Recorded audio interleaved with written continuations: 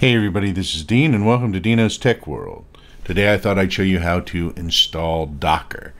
And so the first thing you're going to do is go to the Docker um, website and uh, right on the front page there should be a download link for uh, Docker for Windows Desktop.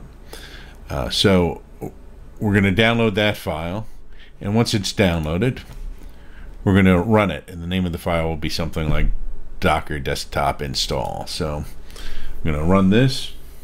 I'm gonna I'm gonna add go ahead and add the shortcut to the desktop and click OK and it will uh, run the Docker install.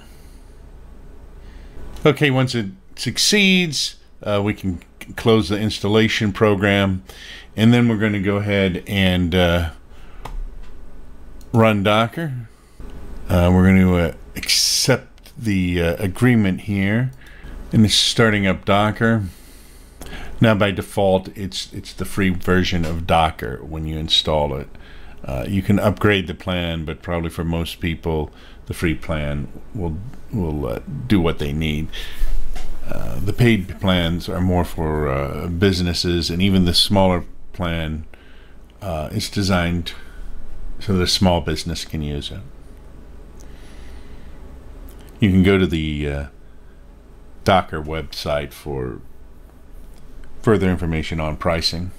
So it comes up and it says get started with Docker in a few easy steps. We're going to skip the tutorial here and move on.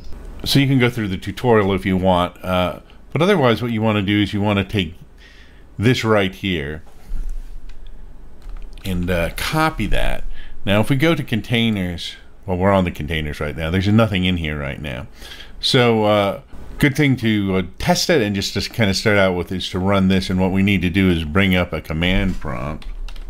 And so we're going to paste that command in the com command prompt and run it.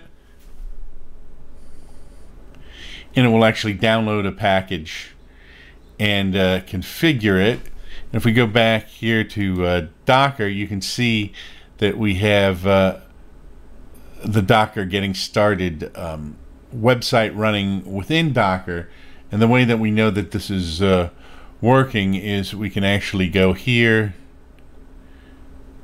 and we can go to localhost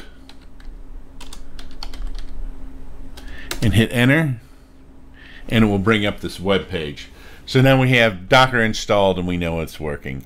Uh, so then you can uh, go from there. I'm Dean and this has been Dino's Tech World and I'll see you next time. Don't forget to subscribe, share, and like.